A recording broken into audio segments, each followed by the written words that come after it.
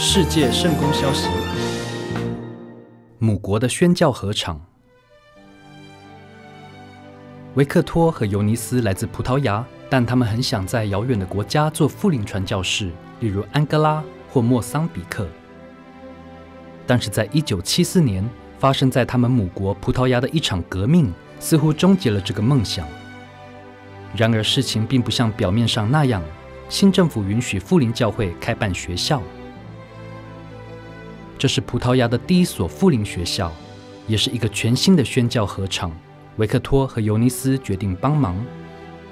这所学校临近波尔图市，对富林信徒来说，开办学校需要极大的信心，因为富林教会从未在葡萄牙开办过学校，一切都得从零开始。尤尼斯和维克托辞去了原本的工作，到学校教书。一九七五年，一群当地教会的小孩子在一间小教室里开始上课。学校的好名声渐渐地传了开来。很快的，一些非富林信徒的家长，例如市长，也把他们的孩子送来这读书。维克托和尤尼斯在学校工作了许多年，从老师当到校长，直到退休。多年来，这所学校培养出了许多有使命感的孩子。其中包括至少十五位牧师。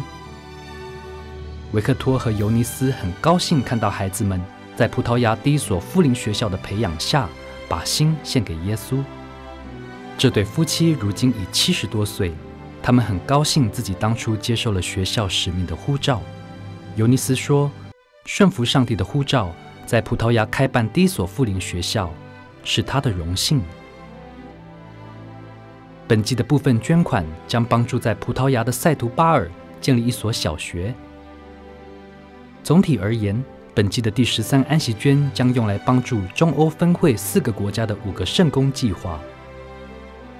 今天是本季的最后一个安息天，也是支持这些圣公计划的最后机会。